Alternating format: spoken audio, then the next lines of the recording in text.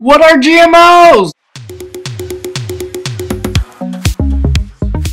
A GMO is a genetically modified organism. So it's basically a laboratory process taking a specific species genes and inserting into another to create or obtain a certain characteristic or trait. So for example, taking a pig's gene and putting it into a tomato or an apple. What the so I have two pears in my hand, one's GMO, one's organic. So how do we know? Well, most people don't because it's not mandatory to be labeled GMO in the US, but it is in China, in France, in South Korea, in Brazil, in India. What the hell is going on? So I could be eating frankenfoods made in a laboratory and have no idea? Yeah. So what foods are GMO in the US?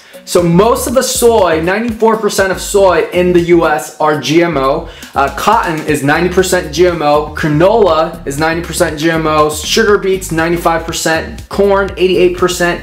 Papayas, are 50% and zucchini and yellow squashes. So what are some potential dangers in eating GMO foods you may ask? Well in a recent French study it showed that lab rats fed a lifetime of GMO corn developed tumors and serious health risks including immune problem, accelerated aging, insulin problems, and changes in major organ and gastrointestinal system. I don't know about you, but I don't want no tumors. So the American Academy of Environmental Medicine has shown that the genetically modified foods, while eaten into a human body can actually leave material and toxic waste. So the insecticides that are inserted into certain genes of the GMO foods can actually be eating up our bodies and creating allergies and different inflammation. No! No worries, it's never too late to reclaim ourselves and empower ourselves to take positive action to avoid GMO.